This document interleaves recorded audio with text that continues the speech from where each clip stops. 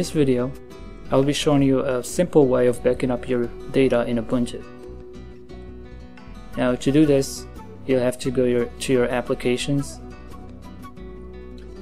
and add and remove.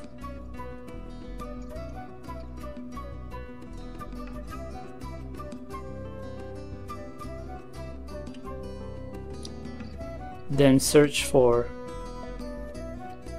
DE JA and this program will pop up here. It's called Deja Dup, I think. Uh, it's uh, D-E-J-A-D-U-P. So um, go ahead and install that. After you do that, you go to your applications, accessories, and you should find find it in your accessories, and it's right there. Okay. So um, this is very simple. You get a window with two buttons here. You got restore and backup. And um, to backup using this utility, you just go to edit, go to preferences, and from here, you choose where you want to backup, where you want to back up to. Like um, it gives you three options here. You can back up to a local folder or a local hard drive or an external hard drive. Or you can back up to an SSH server or Amazon S3 if you have that service. So you have three options here. For this tutorial I'm going to be using the local folder option.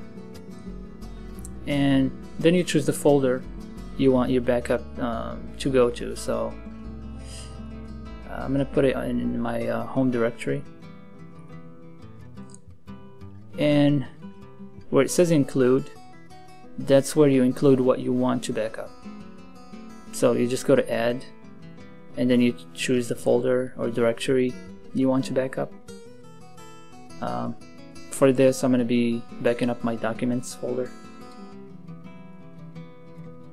actually I already have it selected there so it's right there now, if you want to exclude something from your documents, uh, maybe you know some files or that you don't want to back up, you can go ahead and go to add here and um, add those to here and uh, it will not back those up. Okay.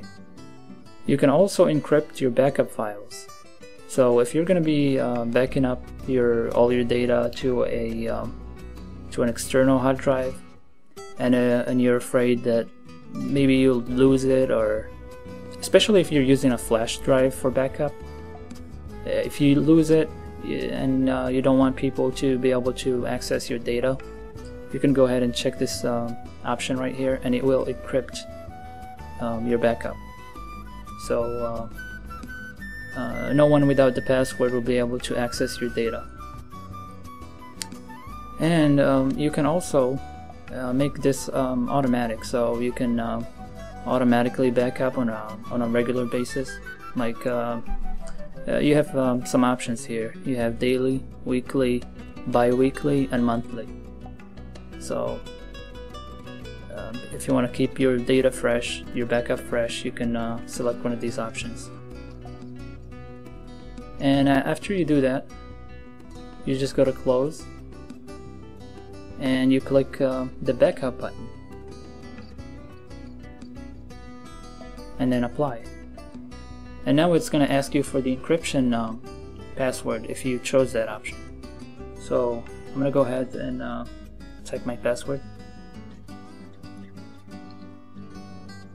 And it also gives you the options here um, forget the password immediately remember password until you lo uh, log out or um, remember forever. I don't rem uh, recommend remember forever because uh, if somebody gets uh, access to your computer they'll be able to see what's in your backup. I usually choose forget password immediately because I already remember my password so there's no need uh, for, um, for Ubuntu to remember my password for me. After you do that just go to connect and it will say your backup was uh, finished. Okay. So to back um, to restore your backup, you just go to the restore button. And it'll ask you for your password. So type the password, your encryption password, and go to connect. And it'll give you all the backups that you have. I already I only created one backup right now, so it's only giving me one option, and it'll give you the date and the time for it. After you choose the the appropriate one, you go to forward, and it gives you the option to restore to the original location where you backed up from, or you can restore to a a, a new um, location. So location of your of your choice. So I backed up my documents from my uh, home directory, and uh, I don't have to restore it to that same place. I can actually restore this to the desktop if I wanted to. So I'm going to choose desktop and go forward and apply. And it'll ask you for your password again. Just go ahead and type that and click connect. And that's it. It says it's uh, successfully restored. And you just close. And if you see here in my desktop, I have the the backup here. So if I open it, I'm to find my documents in there. And it's right there. So this is an easy way of um, uh, keeping your data backed up. Um, now if you're planning on um, uh, making a clean install of um, the new Ubuntu that's coming out, it's a good idea to go ahead and use this utility to back up your um, all your data that you want to keep. You could um, update to the new uh, version of Ubuntu, but uh, a lot of people will not rec recommend that because a lot of the time, if you do that, you will have some problems. So to be safe and just have a stable system, if you want to install the new uh, version of uh, Ubuntu, um, you can just uh, back up your data using this method. And uh, if you want to keep all your uh, programs too you want to move all your programs from uh, this version of Ubuntu to the next one you can go ahead and use a program called uh, APTonCD now if you don't know what APTonCD is or how to use it uh, I did make a video before about that and if you want to watch that one you, you can just go to um, YouTube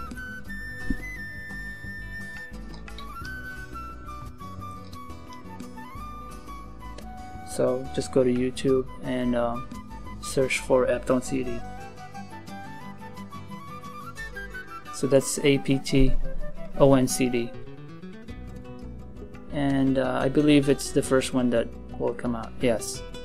So just uh, if you want to learn about that, just go ahead and uh, search for that video. So, um, like I said, if you want to um, make a clean install, you use the, the, the backup program that I just showed you to backup all your data that you want to move and also use APTonCD to keep all your applications. And so ma make sure you make a backup of your home directory because that's where all your uh, application settings will be. So you don't have to reset everything from uh, from the beginning again. Okay, I think that's it. Thanks for watching.